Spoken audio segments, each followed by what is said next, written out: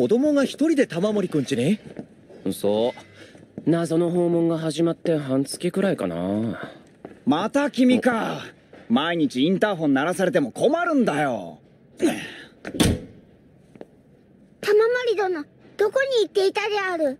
えおおあさって俺ここ引っ越すからその段ボール調達。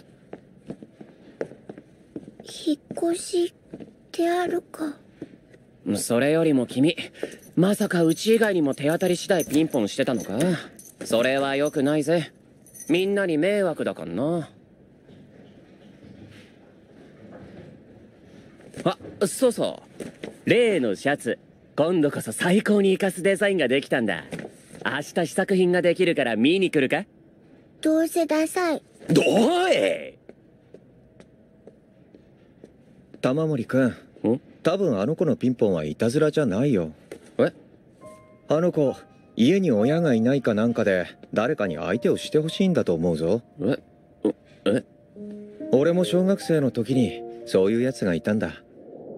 そいつの家親が帰らなかったことが多かったらしくてよくうちに夜遅くまでいたりしてさ。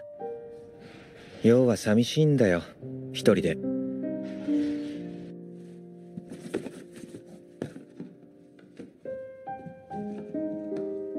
みんなに迷惑だかんな。喜びたまえ。天才的な俺の最高傑作である。世に出すつもりだったが特別君だけに贈呈する。もう俺は君の服を洗ってあげられないから。大切に着たまえよ。相変わらずのデザインぞこれはわらわにしか着こなせないである。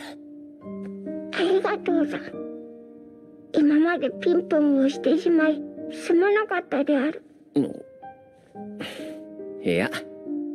君は今まで通りいろんな家のピンポンを押してけよ。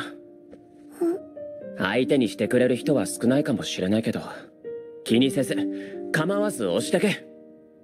君はこれからもピンポンを押し続けていい。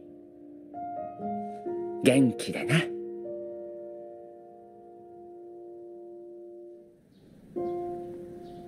なあ気になってたんだけどほぼ毎日着てるその T シャツお前の趣味か？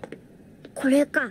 うむダサいであろ？うだが気に入っている。